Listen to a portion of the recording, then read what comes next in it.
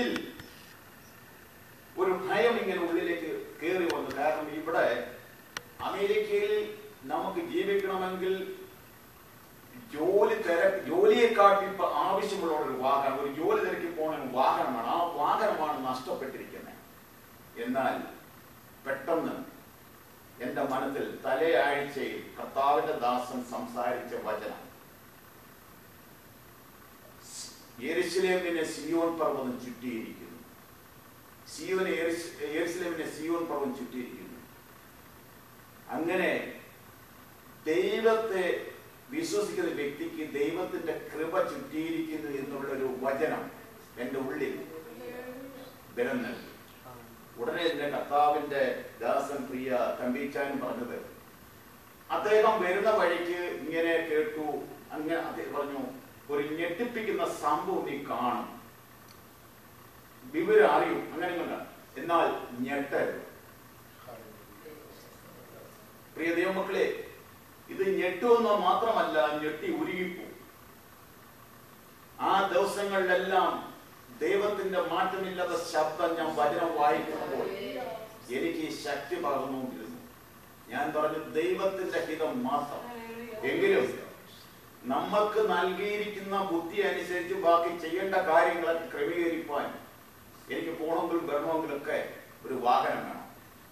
തമ്പിച്ചാൻ ഒരു താക്കോൽ കൊണ്ട് നിന്റെ മേശ പ്രതിഷ്ഠിച്ച് പറഞ്ഞു ഇത് ഉപയോഗിക്കാം. ഞാൻ പറയുന്നത് തമ്പിച്ചാനെ പൊക്കി പറയല്ല. ദൈവത്തിന്റെ വിശ്വസ്തത. നാം എന്ത് ചെയ്താലും ദൈവനാമത്തിന് മഹത്വമായി തീരണം. ഈ തമ്പിച്ചാനെ എവിടെ വെച്ചാണ് കണ്ടിട്ടുള്ളത്. ഇവിടെ വന്ന് ഭാഗവതയിൽ കൂടിയാണ് തമ്പിച്ചാനെ കുറിച്ച് കേൾക്കാനിടയിൽ തീർന്നത് എന്നാൽ ദൈവം അതിനു മുമ്പിട്ട് എല്ലാം അറിഞ്ഞു. ആ വിശ്വസ്തത അവിടെ ദൈവത്തിന്റെ വിശ്വസ്തത കാണിപ്പാൻ ദൈവം അത് മറന്നില്ല. അതോടുകൂടി എനിക്ക് ബന്ധത്തിലാണ് എന്റെ മകളുടെ വാഹനാപണവും സംഭവിക്കുന്നത്. അത് ഞാൻ പറഞ്ഞു. ഞാൻ ഇത് ഇത് പറയുന്നത് നമ്മുടെ വിശ്വാസികൾ കേൾക്കാൻ വേണ്ടിയല്ല. ഇന്ന് ഞാൻ പകലായ സംസാരിച്ച വ്യക്തിയോട് സംസാരിച്ചാണ് ഞങ്ങളുടെ കർത്താവിന്റെ ദാസൻ രണ്ടു മൂന്നാഴ്ചയ്ക്ക് മുമ്പ് സംസാരിച്ചു ഒരു സഹോദരിക്ക് അപകടം ഉണ്ടാകുന്നു ആരാ എന്തുവാണെന്നും അദ്ദേഹം സംസാരിച്ചില്ല. പ്രാർത്ഥിക്കുക നിങ്ങൾ നിങ്ങളുടെ മക്കളെയും കൊച്ചുമക്കളെയും എല്ലാം നിരത്തി വെച്ച് പ്രാർത്ഥിക്കണമെന്ന് മാത്രമാണ് അദ്ദേഹം കർത്താവിന്റെ ദാസൻ അന്ന് സംസാരിച്ചത്. എന്നാൽ പ്രാർത്ഥിക്കുന്നുണ്ട്. എന്നാൽ അത് എന്റെ ജീവിതത്തിലേക്കാണ് കടന്നു വരുന്നതെന്നുള്ളത് ഞാൻ ചിന്തിച്ചില്ല. ആ ശബ്ദം ദൈവത്തിന്റെ ആ അത്ഭുതകരമായ കരം എന്റെ മകൾ സഞ്ചരിച്ചുകൊണ്ട് വന്ന വാഹനത്തിന്റെ രണ്ട് ടയർ ഒരുപോലെ പൊട്ടിപ്പോകുന്നു. എന്ത് സംഭവിക്കാമാണ് ഈ അമേരിക്കയിൽ വാഹനം ഓടിക്കുന്ന നമുക്ക് ഓരോരുത്തർക്കും അറിയാം ദൈവത്തിന്റെ വിശ്വസ്തത അത് കഴിഞ്ഞ് നമ്മുടെ ജെഫ്രി ബദറും അവർ കുടുംബമായിട്ട് പ്രിയ ക്രിസ്റ്റിന മോളും ജോർജ് സാറും പ്രിയ മോളി ശിശുവായിട്ട് ഭവനത്തിൽ കടന്നു വന്നു. പ്രാർത്ഥിച്ചു. അവൻ മാതാപിതാക്കളെല്ലാം വെളിയിറങ്ങിപ്പോയപ്പോൾ പ്രിയ ജെഫ്രി മോൻ എന്റെ കയ്യിൽ പിടിച്ചിട്ട് എന്നോട് രഹസ്യമായി പറഞ്ഞു ഞാനത് പരസ്യമാക്കുകയാണ്.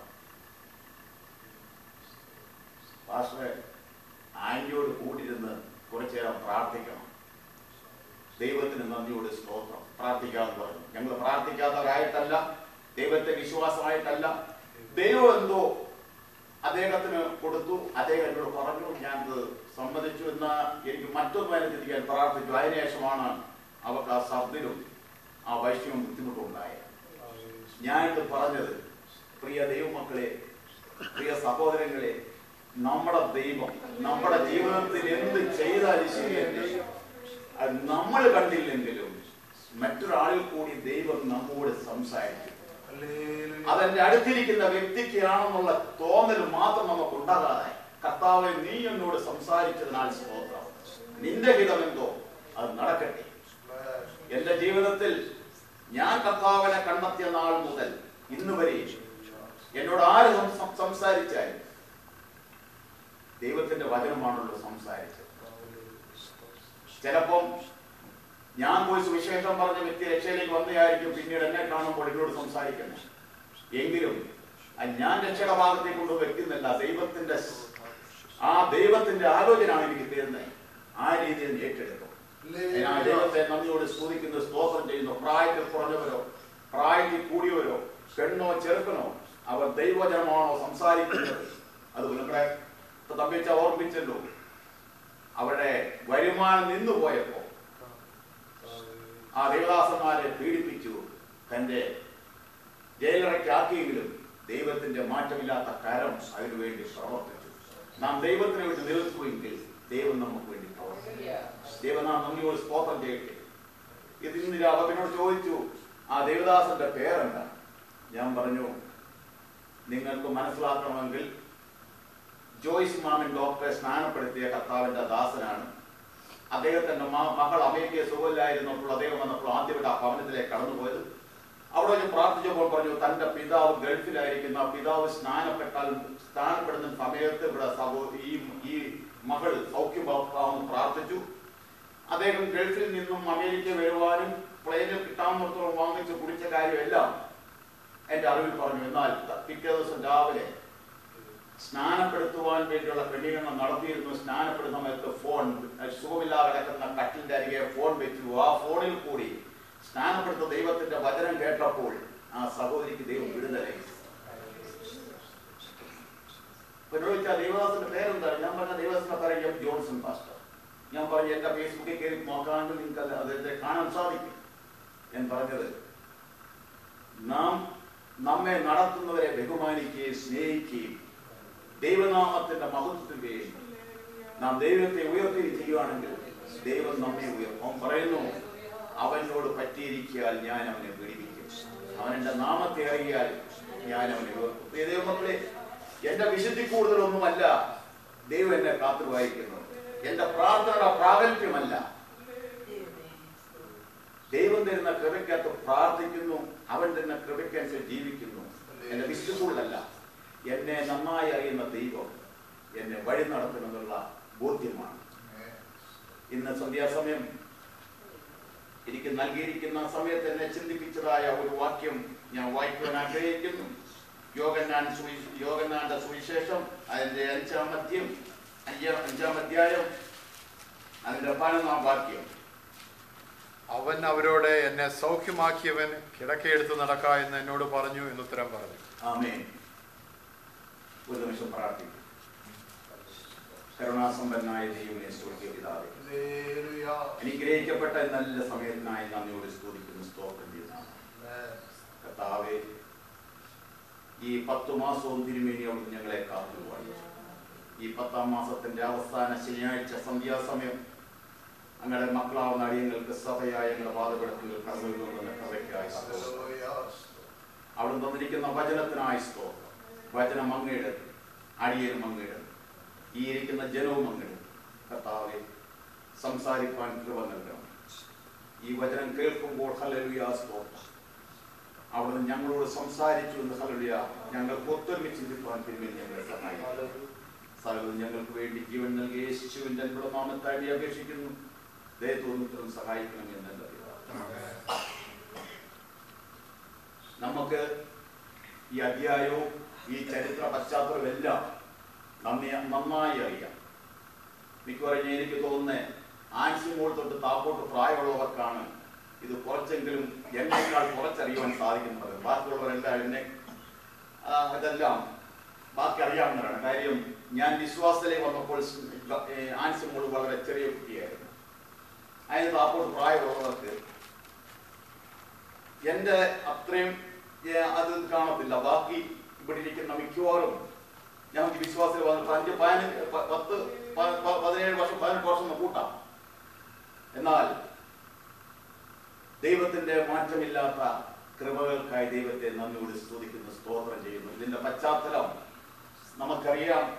അഞ്ചാം അധ്യായം വായിച്ചു തുടങ്ങുമ്പോൾ രണ്ടാം വാക്യം തൊട്ട് യഹൂദന്മാരുടെ ഉത്സവം ഉണ്ടായി എന്നൊക്കെ പറയുന്നു. ആ ഉത്സവത്തെ കുറിച്ചൊക്കെ വളരെ ആധികാരികമായിട്ട് പറയേണ്ട കാര്യമാണ്. അതിലേക്കൊന്നും ഞാൻ കടക്കുന്നില്ല. ആട്ടുപാതക്കൽ ബെദേസ്ത എന്ന കുളക്കരയിൽ അവിടെ പല വ്യാധിക്കാരെ കിടക്കുന്ന ഒരു സന്ദർഭത്തെ കുറിച്ചാണ് പറഞ്ഞിരിക്കുന്നത്. അവിടെ കുരുടർ മുടന്തർ ക്ഷയരോഗികൾ ഇങ്ങനെ വ്യാധിക്കാർ ഇങ്ങനെ പല വിധത്തിൽ ആ ഭാഗത്ത് കിടക്കുന്ന ഒരു വ്യക്തിയെ യേശു ക്രിസ്തു കർത്താവ് യേശു കടന്നു കാണുന്നു. കണ്ടിട്ട് യേശു അവന്റെ അവസ്ഥകളെല്ലാം അറിയുന്നു. എന്നിട്ട് പെട്ടെന്നൊരു ചോദ്യവും.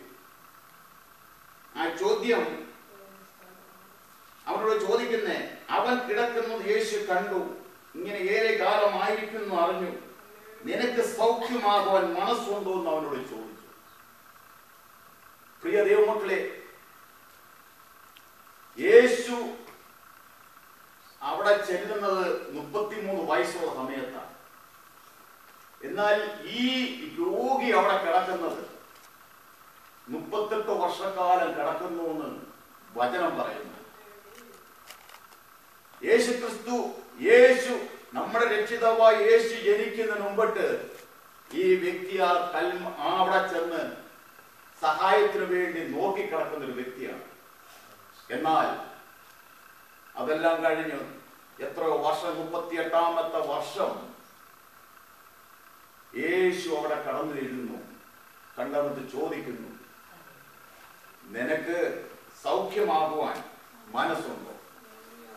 നമ്മുടെ ജീവിതത്തിന്റെ ഏതൊരു അവസ്ഥയിലും യേശുക്രിസ്തു നമ്മെ കണ്ടുകൊണ്ടിരിക്കുന്നു. നമ്മെ കണ്ട് നമ്മുടെ എല്ലാ അവസ്ഥകളും അറിയുന്ന ദൈവം.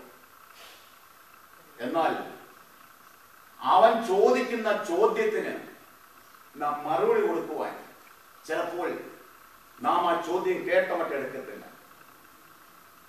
ചിലപ്പോൾ അവൻ നമ്മെ കണ്ടു എന്ന് നാം മനസ്സിലാക്കുകയും കാരണം എല്ലാവരും തിരക്കുള്ളവരാണ്. അവർ പലവിധത്തിൽ പലവിധം ആവശ്യങ്ങൾ ഓടിക്കൊണ്ടിരിക്കുകയാണ്. എന്നാൽ ഇവൻ ഓടുവാൻ സാധിക്കാതെ മുപ്പത്തെട്ട് വർഷക്കാലം അവനേക്കാൾ പിൻപേ വന്ന പലരും അവിടുന്ന് അസുഖം പ്രാപിച്ച് പോയിട്ടുണ്ട്. അതിന്റെ പൊരുൾ നമുക്കറിയാം.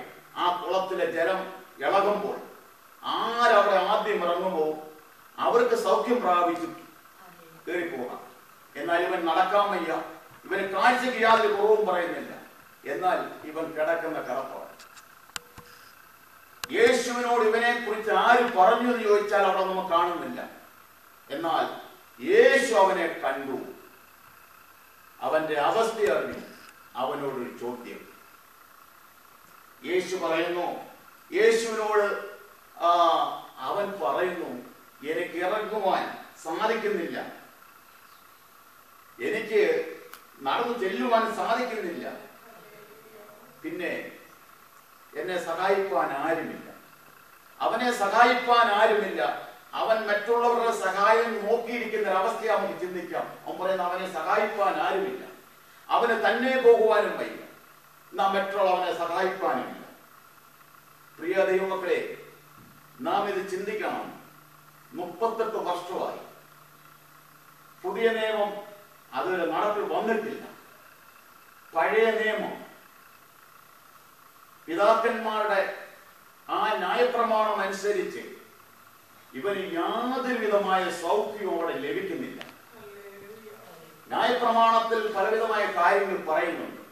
ആ ന്യായപ്രമാണത്തിന്റെ ഒരു രീതിയിലും അവനെ രക്ഷയിലേക്ക് ജീവിതത്തിലേക്ക് അവൻ മുപ്പത്തെട്ട് വർഷക്കാലം കടപ്പാണ് എന്നാൽ നമ്മുടെ യേശു ക്രിസ്തു ജനിക്കുന്നതിനുടെ അവനവിടെ കടപ്പാണ്.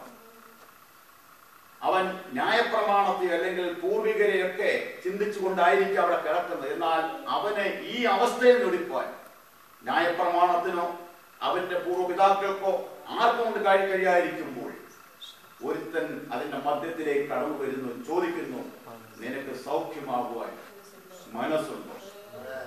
പ്രിയതമക്കളെ നമ്മുടെ ജീവിതത്തിൽ ഇങ്ങനെയാണ്. എന്ന് പറഞ്ഞാൽ ഞാൻ കർത്താവ് യേശു ക്രിസ്തുവിനെ അറിയാതെ ജീവിച്ച വ്യക്തിയാണ്. അത് അറിഞ്ഞ് ജീവിക്കുന്നവരെ ഏതെല്ലാം വിധത്തിൽ അവരെ നാണം കെടുത്താമോ ആ രീതിയിൽ നാണം കെടുത്തിട്ടുള്ളവനാണ്. എന്നാൽ ഒരു രാത്രി എന്റെ ഭവനത്തിൽ കടന്നു വന്ന്. എരിയുന്ന തീയിൽ എന്റെ പേര് വിളിച്ചിട്ട് എന്നെ വിളിച്ചുണർത്തി എനിക്ക് അതിനെ കുറിച്ച് ഒന്നും അറിയാൻ സാധിക്കുകയില്ല. എന്നാൽ എന്നോട് ദൈവത്തിന്റെ വചനത്തിന്റെ ഒരു വാക്യം പറഞ്ഞു തന്നു. ഞാൻ അത് എഴുതി വെച്ചു. എഴുതി വെച്ചത് ശരിയല്ല. യശയാവെന്നുള്ളത് ഞാൻ എഴുതി വെച്ചത്. എന്നാൽ പിറ്റേ ദിവസം രാവിലെ ഒരു ഒരു ഒരു വിശ്വാസി എന്റെ ഭവനത്തിൽ കടന്നു വന്നിട്ട് ചോദിച്ചു ഇന്നലെ ഇവിടെ എന്ത് സംഭവിച്ചു? ഞാൻ പറഞ്ഞു ഒന്നും സംഭവിച്ചില്ല. അങ്ങനെ അല്ലല്ലോ അമ്മച്ചി പ്രാർത്ഥിക്കായിരുന്നപ്പോ അദ്ദേഹത്തിന്റെ ഭാര്യ മക്കൾ അമ്മച്ചി വിളിക്കുന്ന അദ്ദേഹം പറയുവാണ് അമ്മച്ചി പ്രാർത്ഥിക്കാതിരിക്കുമ്പോൾ ദൈവം പറഞ്ഞു ഇവിടെ വരണം. ഞാൻ അപ്പോൾ അകത്ത് കടന്നു എന്ന് തലേ ദിവസം എഴുതി വെച്ചിരുന്ന പേപ്പർ എടുത്ത് കൊടുത്തു. അദ്ദേഹം വായിച്ച അതിന്റെ പേര് ടി പി ജോർജ് എന്നാണ്. ഇന്ന് അദ്ദേഹം കർത്താവിന്റെ സ്ഥലം വിശ്രമിക്കുന്നു. ഒരു മാന്യനായ ഒരു ദൈവ കാരണം മാന്യ എന്ന് പറഞ്ഞാൽ അദ്ദേഹത്തിന്റെ ഭാര്യയുടെ അവസാന സമയം കൊല്ലൂർ. ഭർത്താവും ഭാര്യയും കൂടി കടന്നു പോകുമ്പോൾ അദ്ദേഹം താഴ്ത്ത സത്തുകൂടി പോ കടന്നു പോകുമ്പോൾ പറഞ്ഞു അപ്പച്ച അത് സർക്കാരിന്റെ വണ്ടി ഓടുവാനുള്ള സ്ഥലമാണ് ടാറിട്ടത്. നമുക്ക് നടക്കാനുള്ളത് താറിടാത്ത സ്ഥലമാണ്. എന്ന് പറഞ്ഞ് ആ അപ്പച്ചനെ പിടിച്ച് ഇതിലോട്ട് മാറ്റിയപ്പോഴത്തേക്കും കാണാം ഒരു ആട്ടവും കടന്നു വന്ന് ഈ അമ്മച്ചെ ഇടിച്ച് നിലത്തിട്ടു പിന്നെ അതിന്റെ പുറത്ത് വേറെ ആട്ടുകൾ വന്ന് ഇടിച്ചു. ആ അമ്മച്ചിയെ കൊല്ലൂരെടുക്കാൻ ട്രിവാൻഡ്രം മെഡിക്കൽ കോളേജിൽ കൊണ്ടുപോയി. പെമ്മക്കൾ നാലോ അഞ്ചോ പെമ്മക്കളുണ്ട് എന്നാൽ ആ പെമ്മക്കളെ കൊണ്ടൊന്നും ശുശ്രൂഷ ആ അപ്പച്ചൻ എന്റെ ഒരു ഭാര്യയെ ശുശ്രൂഷിക്കേണ്ട കടമ ഭർത്താവിന്റെ ആണെന്ന് പറഞ്ഞ് എല്ലാവർക്കും മാതൃകയായി. ഞാൻ അമ്മച്ചെ കാണാൻ തിരുവനന്തപുരത്ത് പോയിട്ടുണ്ടായിരുന്നു. പെമ്മക്കൾ പറയുമ്പോൾ അപ്പച്ചൻ നമ്മൾ കയറ്റിവിടത്തില്ല അമ്മച്ച സുഷം അതോടെ ഞാൻ പറഞ്ഞു പെഞ്ഞൽ കർത്താവിനെ ഭയപ്പെട്ട് അവന്റെ വചനപ്രകാരം ജീവിച്ച ഒരു വ്യക്തി. ഇങ്ങനെ പരസ്യമെ കാണിച്ച് ഞാൻ അദ്ദേഹമാണ് എന്റെ വീട്ടിൽ വന്ന് എന്നോട് സംസാര ചോദിച്ചത്. ഞാൻ എടുത്തു കൊടുത്തു. അദ്ദേഹം പറഞ്ഞു നാൽപ്പത്തി മൂന്ന് ഒന്ന് രണ്ട് മൂന്ന്. അദ്ദേഹം യേശയ്യാവ് എന്നുള്ളത് എന്നോട് അപ്പൊ ഞാൻ പറഞ്ഞു "ആ, ശരി എന്റെ യേശയ്യാവ്. എന്റെ എഴുത്തിന്റെ എസ് അന്ന് നമുക്കറിയത്തില്ല. ബൈബിൾ എടുത്ത് എന്റെ പേർ ചൊല്ലി വിളിച്ചിരിക്കുന്നു. നീ അഗ്നി കടന്നുപോയാൽ അഗ്നി നിന്നെ ദഹിപ്പിക്കുകയില്ല ജലം ഇപ്പോൾ കടന്നുപോയാൽ ജലം നിന്നെ കവിഞ്ഞൊഴുകയില്ല ഉണ്ടാവട്ടെ. ആ വചനമാണ് ഇന്നും എന്റെ ജീവിതത്തിന്റെ പാതയിൽ ധൈര്യം പകരുന്നു പറഞ്ഞാൽ ഈ വക തീ പോലുള്ള പ്രശ്നങ്ങൾ എന്റെ ജീവിതത്തിൽ കടന്നു വരാം. എന്റെ ജീവിതത്തിൽ തലയ്ക്ക് മുകളിൽ കടന്നു വെള്ളത്തിന്റെ പ്രവാഹങ്ങളും പ്രവ- പ്രവാഹത്തെ പോലുള്ള പ്രശ്നങ്ങൾ കടന്നു വരാം. എങ്കിലും എന്റെ പേര് വിളിച്ചവൻ അവൻ വിശ്വസ്തൻ. അവൻ എന്നെ കരുതിക്കൊള്ളുമെന്നുള്ള സ്തോത്രം സ്തോത്രം സ്തോത്രം അങ്ങനെ എന്റെ അറിവിലേക്ക് പിന്നെ കടന്നു വരുന്ന വചനങ്ങൾ മുമ്പേ അവന്റെ രാജ്യവും നീതി അന്വേഷിക്കുക. അതോടുകൂടി ഇതൊക്കെ ലഭിക്കും. ഞാൻ പിന്നീട് എല്ലാവർക്കും പറയുന്ന ഒരു കാര്യമുണ്ട്. ആ, നമ്മൾ നാട്ടിൽ ഒരു പറഞ്ഞൊരു ഒരു ഒരു ഒരു ഒരു പഴഞ്ചൊല്ലുണ്ട്. ചുക്ക് ചേരാത്ത കഷായമുണ്ടോ? ഞാൻ പറയും വിശുദ്ധ വേദപുസ്തകത്തിൽ മുമ്പേ നിങ്ങൾ അവന്റെ രാജ്യവും നീതി അന്വേഷിപ്പി. അതോടുകൂടി ഇതൊക്കെ ലഭിക്കുമെന്നുള്ള ദൈവത്തിന്റെ വചനം ചുക്കിനേക്കാളും ചുക്ക് ചേർക്കാതെയും വേണമെങ്കിൽ കഷായം ഉണ്ടാക്കാം. എന്നാൽ ഒരു ക്രിസ്തീയ ഭക്തന് ഒരു ഒരു വിശ്വാസ ജീവിതത്തിന് ഈ വചനം കൂടാക്കത്തിൽ മുമ്പേ അവന്റെ രാജ്യവും നീതിയും അന്വേഷിക്കുക. അതോടുകൂടെ ജീവിതത്തിൽ എന്തെല്ലാം ആവശ്യമുണ്ടോ അതെല്ലാം പുറകെ വന്നുകൊള്ളും. മുമ്പേ അവന്റെ രാജ്യവും നീതി. എപ്പോഴും പറയാനുള്ള മത്തായ സുവിശേഷൻ ആറിന്റെ മുപ്പത്തി മൂന്നിൽ കാണുന്ന വചനം. ഞാൻ ആരോടും ഞാൻ- ഞാൻ ജോലി സ്ഥലത്ത് വന്നാലും ശരി മുമ്പേ അവിടുത്തെ പറയുന്നത് മാത്യു സിക്സ് തേർട്ടി ത്രീ ചിലപ്പോൾ ടെലിഫോൺ ഉടനെ അവർ സെൽഫോൺ അടിച്ച് നോക്കും. ചിലർ ബ്ലസ് ചെയ്തിട്ട് പോകും ചിലർ മുഖം നിർപ്പിച്ചിട്ട് പോകും എനിക്കത് പ്രശ്നമല്ല. മുമ്പേ അവന്റെ രാജ്യവും നീതി അന്വേഷിക്കുക അതോടുകൂടി ലഭിക്കും. പറയാൻ കാരണം ഈ ലോകത്തെ ജീവിതം ഈ രാജ്യത്തെ ജീവിതം അല്ല ലോകത്ത് എവിടെയുമുള്ള ജീവിതം. പ്രിയ ദൈവമക്കളെ ദൈവത്തിന്റെ സ്വന്തം നാടെന്ന് നാം അനുഭ അനുമാനിക്കുന്ന അഭിമാനം കൊള്ളുന്ന നമ്മുടെ കേരളത്തിൽ ഇന്ന് ഞാൻ വായിച്ച ഒരു ഒരു വാർത്തയിൽ അവിടെ ബ്ലാക്ക് മാസ് കറുത്ത കുർബാൻ എന്ന് എന്നുള്ള രീതിയിൽ ഒരു മീറ്റിംഗ് നടക്കുന്നു. അത് വിശുദ്ധ വേദ പുസ്തകത്തിന് കംപ്ലീറ്റ് എതിരായി അവിടെ ചെല്ലുന്ന അവരുടെ ഒരു വിശ്വാസി ബൈബിൾ ചവിട്ടിക്കൊണ്ടാണ് അവർക്ക് കയറി പോകേണ്ടത്. ഈ ദൈവവചനത്തിൽ എന്തെല്ലാം അശുദ്ധം അശുദ്ധം അശുദ്ധം അശുദ്ധം പറഞ്ഞിരിക്കുന്നു അതെല്ലാം അവർക്ക് വിശുദ്ധം വിശുദ്ധം വിശുദ്ധമാക്കിക്കൊണ്ടാണ് അവർ പ്രവർത്തിക്കുന്നത്. ഈ നാളുകൾ അന്ത്യകാലത്തേക്ക് കടന്നിരിക്കുന്നുള്ള ഇതാണ് നമ്മുടെ കൊച്ചു കേരളത്തിൽ ഈ അമേരിക്കയിൽ ഫ്രാൻസിസ്കോയിൽ എങ്ങാണ്ട് ഉണ്ടായ ആ സംഭവമാണ് കടന്ന് അങ്ങോട്ട് പോയിരിക്കുന്നത്. മാതാപിതാക്കൾ മക്കൾക്കുള്ള എല്ലാവിധമായ സൗകര്യങ്ങൾ എത്തിച്ചു എത്തിച്ചു കൊടുക്കുമ്പോഴും കുഞ്ഞുങ്ങൾ എവിടെ പോകുന്ന അറിയുന്നില്ല. അവർക്ക് സർവസാന്ദ്രമാണ് അത് എന്ന് പറഞ്ഞാൽ പിശാജ് അവന്റെ തന്ത്രങ്ങൾ അവസാനിക്കാൻ പോകുന്നു അറിഞ്ഞുകൊണ്ട് അവൻ നിരപരാധികളായവരെ കുരുക്കിൽ ചാടിച്ചുകൊണ്ട് അത് പ്രത്യേകം പറഞ്ഞിരിക്കുന്നു.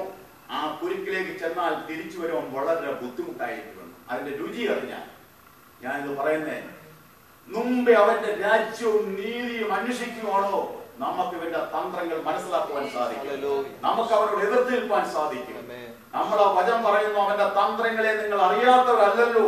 എതിർത്ത് നിൽപ്പിൻ അവൻ നിങ്ങളെ വിട്ട് ഓടിപ്പോകും. ദൈവനാമത്തിന് മതത്തുണ്ടാകട്ടെ ഇവിടെ ആ ആര് സഹായിപ്പാനില്ലാത്ത വ്യക്തിയാണ് ഈ കിടക്കുന്നത്. ന്യായപ്രമാണത്തിന് ചെയ്യാൻ കഴിയാത്ത കാര്യമാണ്. വിശുദ്ധ വേദപുസ്തകം വായിക്കുമ്പോൾ ആവർത്തനം രണ്ടിന്റെ പതിനാലിൽ വായിക്കുമ്പോൾ കാതേശ് ബർമയിൽ നിന്ന് പുറപ്പെട്ടത് മുതൽ അത് സേലത്തോട് കടക്കം വരെയുള്ള കാലമാണ് ഈ മുപ്പത്തെട്ട് സംവത്സരം. ദൈവം ഈ മുപ്പത്തെട്ട് സംവത്സരം ആ മരുഭൂമിയിൽ അവരെ ആ നാൽപ്പത് വർഷം ഉലയുവാൻ അവിടെ അലയുവാൻ ഇടയാക്കിയത് ദൈവത്തിന്റെ പ്രത്യേക ഒരു പദ്ധതിയാണ്. ദൈവം തന്റെ ജനത്തോട് മോശയെ കൂടി പറയുന്നു ദൈവത്തിന്റെ വാക്കുനാളായ കനാൻ ദേശം തരും. എന്നാൽ അവന്റെ വാക്കിനെ വിശ്വസിക്കാതെ ആ കൂട്ടത്തിലുണ്ടായിരുന്ന ആൾക്കാർ പറയുന്നു അവിടെ അങ്ങനെയാണ് ഇങ്ങനെയാണ് അതെല്ലാം പോയി സ്ഥലം ഒറ്റ നോക്കണം. ദൈവ ദൈവ- ദൈവവചനത്തിൽ പറയുന്നു ദൈവത്തിന് അത് ഇഷ്ടമായില്ല.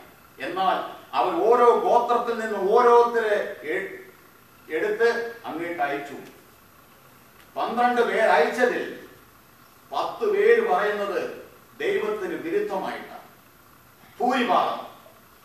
ഈ ലോകത്തിൽ നിന്ന് ആൾക്കാർ നോക്കുന്ന ഭൂരിഭാഗം എന്ന് പറയുന്നുള്ളതാണ് നമ്മൾ എത്ര ഭാഗ്യമുള്ളവരാണ്. നമ്മൾ ഭൂരിഭാഗമില്ല കുറഞ്ഞവരാണെങ്കിലും ദൈവത്തിന്റെ മാറ്റമില്ലാത്ത ശബ്ദം കേൾപ്പാനും ആ ശബ്ദത്തിൽ നമുക്ക് തിരിച്ചറിയുവാൻ അവന്റെ കൃപ നൽകി.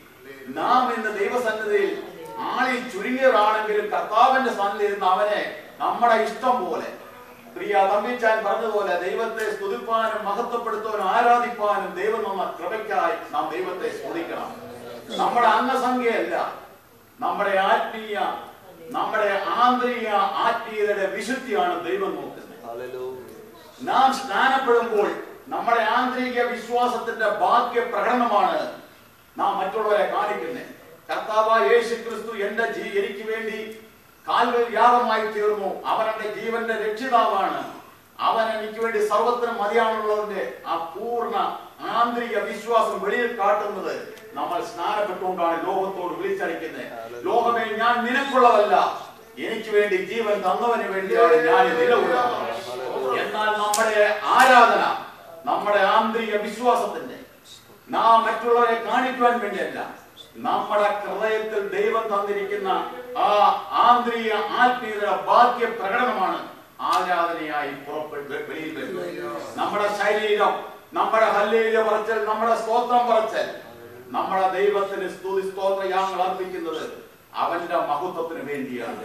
അവൻ നമ്മുടെ ഉള്ളിൽ തന്നിരിക്കുന്നതാണ്. എന്നെ കാണാതിരിക്കുന്ന ദൈവമല്ല. ഞാൻ എത്ര ഇരുട്ടിലുള്ള മുറിയിൽ കടന്നിരുന്നാലും ഞാൻ അവന്റെ മുമ്പിൽ നഗ്നനാണ് മറന്നിരിക്കുന്നവനാണ്. എന്നെ പരിപൂർണമായി കാണുവാൻ കഴിവുള്ളവനാണ്. സമുദ്രത്തിന്റെ അടിയിൽ ഞാൻ ചെന്ന് പാർത്താലും അവൻ എന്നെ കാണുവാൻ കഴിവുള്ളവനാണ്. പ്രിയ ദൈവമക്കളെ ആ കർത്താവാണ് ഇപ്പോൾ ബലസ്ത കുളക്കരയിൽ നിന്നുകൊണ്ട് ചോദിക്കുന്നത് നിനക്ക് സൗഖ്യമാക്കുവാൻ മനസ്സുണ്ട്? എന്നെ എടുത്തു മാറ്റുവാൻ ആളില്ല എന്നെ കൊണ്ടുവരുന്ന ആരുമല്ല ഒറ്റ മറുപടിയാണ് കിടക്കെടുത്ത് നടക്കുക. പ്രിയ ദൈവമക്കളെ നമ്മുടെ ആവശ്യങ്ങൾ തമ്മിൽ ദൈവത്തെ അവൻ അറിയാം നമ്മുടെ ആവശ്യം എന്തെന്ന്. നമ്മളെ ഉറ്റവരുടെ ബന്ധുമിത്രാദികൾ കൈവിടുന്ന സ്ഥാനത്ത്. അവൻ നമ്മളെ അരിമനാഥനായി നമ്മോട് സ്തോത്രം നാം ഏത് ഏത് പ്രശ്നത്തിന്റെ മധ്യത്തിലാണെങ്കിലും Amen. എന്റെ ജീവിതത്തിൽ പ്രശ്നം കടന്നു എനിക്ക് ദൈവത്തിന്റെ വചനമാണ് ശരണം. കാര്യം ഞാൻ സാധാരണ മനുഷ്യൻ. എനിക്ക് യാതൊരു ശക്തിയുമില്ല. ഞാൻ നോക്കുമ്പോൾ എനിക്ക് വേണ്ടത് കടന്നു ചെന്നാൽ ഈ എന്റെ ഉള്ളിൽ ഉള്ള സംസാര ശൈലി ആ സംസാരിക്കേണ്ടതായ കാര്യങ്ങൾ എടുത്ത് വ്യക്തമായി പറയുവാൻ എനിക്ക് ലാംഗ്വേജ് പ്രോബ്ലമാണ്. എനിക്ക് കടന്നു ചെല്ലുവാൻ പരിമിതികളുണ്ട്. എന്നാൽ പരിമിതികളില്ലാത്തവനായ ഒരു ദൈവമാണ്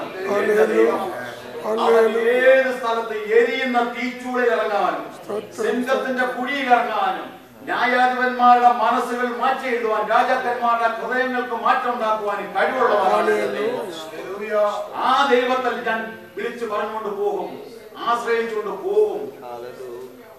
എനിക്ക് ഇന്നത് ആവശ്യമാണ് കർത്താവ് നീ എന്റെ പരിപാടി എനിക്കായി നീ മുമ്പേ കടന്നു തരണം നിന്റെ ദൂതന്മാരെ അയക്കണം. ഞാൻ എന്റെ ക്ഷമിക്കണം. അങ്ങനെ പറഞ്ഞുകൊണ്ട് കടന്നു ചെല്ലും. സന്തോഷത്തോടും മടങ്ങി വരുവാൻ ദൈവനെ സഹായിക്കും. എന്റെ ലാംഗ്വേജ് എന്റെ പ്രശ്നമല്ല എന്റെ ലാംഗ്വേജിന്റെ മിടുക്കല്ല എന്റെ സ്വന്തക്കാരും ബന്ധക്കാരും മറ്റുള്ള കഴിവല്ല. അത്യുന്നതനായ ദൈവത്തിന്റെ കൃപ അതിന്റെ മേൽ പ്രവർത്തിക്കുന്നത് തങ്ങളേകാചിത്രായിരിക്കുന്നവർക്ക് വേണ്ടി തന്നെത്താൻ വിലവാണ് കാണിക്കേണ്ട ഭൂമിയിൽ എല്ലാവരും അവന്റെ കണ്ണ് ഊരാടി സഞ്ചരിക്കുന്നു. എന്റെ നല്ല പ്രവൃത്തികൾ മാത്രമല്ല എന്നെ ഉള്ളതുപോലെ അറിയുന്ന എന്റെ ഭാര്യ എന്നെ അറിയുന്നതിനേക്കാൾ എന്റെ പാസ് എന്നെ അറിയുന്നതിനേക്കാൾ എന്റെ അയൽവക്കാരനെ അറിയുന്നതിനേക്കാൾ എന്റെ അമ്മയച്ഛൻ എന്നെ അറിയുന്നതിനേക്കാൾ വ്യക്തമായി അറിയുവാൻ കഴിയുന്ന ഒരു ദൈവമാണ് ആ ദൈവമുള്ള പൂർണ ബോധ്യത്തിലൂടെ അവനെ ഏൽപ്പിച്ചിട്ട് പോകത്താവേ എന്റെ പ്രിയ സഹോദരങ്ങൾ പ്രിയ ജോസ് സാറിനോട് പലപ്പോഴും ചോദിച്ചു ഭാഷ എങ്ങനെ ആദവർ ഇത്രയും ദിവസമായി എന്നോട് കൊണ്ടിട്ടൊക്കെ അവരോട് ചെയ്യൂ ഞാൻ പറഞ്ഞു ഒന്നും ചെയ്യത്തില്ല. കാരണം എനിക്ക് അവരോടുള്ള വിശ്വാസമല്ല. എന്നെ നടത്തു എന്നെ വിളിച്ചവന് കഴിയാത്തൊരു പ്രശ്നമില്ല. അവർ ചോദിച്ചത് എന്നെ ദണ്ഡിപ്പിക്കാനല്ല എന്നെ പരിഭ്രമപ്പെടുത്താനല്ല എന്നുള്ള സ്നേഹം കൊണ്ടാണ്. എന്നാൽ എനിക്ക് ഒറ്റ വിശ്വാസമുള്ള കർത്താവെ നിനക്കറിയാം എന്റെ അവസ്ഥ എന്താണെന്നുള്ളത്. അത് നീ തരുന്നത് പിശാരി കൊണ്ട് അനുവദിക്കരുത്. എന്റെ ദൈവം അതിന്റെ മേൽ പ്രവർത്തിച്ചു. അതെനിക്ക് യാതൊരു വിധമായി ഇത്ര എന്നോട് അടുത്തുള്ള ആ സാർ ചോദിക്കും പക്ഷേ അവർ ഇത്രയും ഇതാ കൊണ്ടുവച്ചിട്ട് എന്തോ പ്രയോജനം ഉണ്ടായത്? ഇപ്പൊ ഞാൻ പറഞ്ഞ അവർക്ക് കുറച്ച് ദിവസം ജനങ്ങളും കയറുമ്പോൾ കണ്ടുകൊണ്ടിരിക്കാൻ പറ്റി അത്ര തന്നെ. അല്ലെങ്കിൽ അതുകൊണ്ട് ഞാൻ പോകുന്ന സമയത്ത് എനിക്ക് എന്തെങ്കിലും നാശം സംഭവിക്കാൻ സാധ്യതയുണ്ടെന്ന് ദൈവത്തിന് മനസ്സിലായിട്ട് ദൈവം എടുപ്പിച്ചോണ്ട് പോയതായിരിക്കാം. എന്തായാലും ശരി എന്നെ. അത് എനിക്ക് ദോഷമായി ഭവിച്ചില്ല. കുറച്ച് ശരി പിന്നെ പലയിടത്തും മറുപടി പറയാൻ എനിക്ക് വളരെ ബുദ്ധിമുട്ടാണ് കാര്യം. എന്തുകൊണ്ട് സംഭവിച്ചതൊക്കെ ചോദിക്കുമ്പോൾ കർത്താവെ ദൈവദാസൻ എന്നോട് ചോദിക്കണമെന്ന് മനസ്സുണ്ടായതെങ്കിൽ പലപ്പോഴും ചോദിക്കാൻ സാധിച്ചില്ലെന്ന് ഞങ്ങൾ സംസാരിക്കും മനസ്സിലായി. ഞാൻ പറഞ്ഞു കർത്താവ് വിലക്കിയതാണ് കാര്യം. ഞാൻ അവിടെ പ്രാർത്ഥന എന്നോട് കൂടുതൽ ആരും ചോദിക്കാതെയാകില്ലേ മറുപടി പറയാൻ എന്തു പറയും എന്നുള്ളത്. കാര്യം മക്കൾ ചോദിക്കും അപ്പച്ച പപ്പ ചോദിച്ചായിരുന്നു? ഇല്ല. കാര്യം എന്നോട് ദേഷ്യമുണ്ടായിട്ടില്ല സ്നേഹത്തോടെ എന്താ അറിയണം പക്ഷെ എനിക്കത് മനസ്സിൽ എന്തുവാണ് മരട് കൊടുക്കുന്നത് എന്തോ കള്ളം പറയുവാൻ സാധിക്കുന്നത് ഇതെല്ലാവരും കണ്ടുകൊണ്ടിരിക്കുന്നത് ദൈവം പ്രവർത്തിക്കട്ടെ. അതിനുവേണ്ടിയാണ് ഞാൻ കള്ളം പറഞ്ഞിട്ട് ദൈവം എന്നാ നിന്റെ കള്ളത്തിനോട് കാര്യം സാധിക്കട്ടെ എന്ന് പറഞ്ഞാൽ ദേ- ഞാൻ പറഞ്ഞത് നമ്മുടെ സകല അവസ്ഥകൾ. ആ അവസ്ഥ അറിയുന്ന ആ ദൈവമാണ് ഈ ഉളക്കരയിൽ എത്തിയിരിക്കുന്നത്. നിന്റെ കിടക്കെടുത്ത് നടക്കുക പ്രിയ ദൈവമക്കളെ നമ്മോട് പലവട്ടവും ദൈവം സംസാരിച്ചു നമ്മോട് കിടക്കെടുത്ത് കിടപ്പാൻ എന്നാൽ പലവട്ടവും നാം കേട്ടില്ല. പിന്നെ അതുകൊണ്ട് അവന്റെ പാതപീഠത്തിലേക്ക് നമുക്ക് കടന്നു വരുവാൻ സമയം കുറച്ച്. അവന്റെ നന്മകൾ തെറുകളൊക്കെ അനുഭവിപ്പാൻ നാം കുറെ വൈകി. എന്നോട് പലരും പലവട്ടവും സുവിശേഷം എന്ന് പറഞ്ഞിട്ടുണ്ട്. പത്ത് പതിനഞ്ച് വർഷക്കാലം ഞാൻ കേട്ട നല്ല വചനങ്ങൾ പുറങ്കാലുകൊണ്ട് ചവിട്ടി കുറെ കളഞ്ഞിട്ടാണ് ഞാൻ സ്വതന്ത്രം നടന്നത്. അവസാനം അപ്പോഴൊക്കെ ഞാൻ അഹങ്കരിച്ച് എനിക്ക് അതുണ്ട് ഇതുണ്ട് മറ്റുണ്ട് മറിച്ചുണ്ട് സ്വന്തക്കാർ ബന്ധക്കാർ എല്ലാവരും ഉണ്ട്. എന്നാൽ ഒരു ദിവസം കർത്താവ് എന്നെ അതിൽ നിന്നെല്ലാം മാറ്റി- മാറ്റിയിട്ട് ഞാൻ എന്റെ സ്വന്തക്കാരെ ബന്ധക്കാരെ എല്ലാം മുമ്പിൽ ഒരു ഒരു ഒരു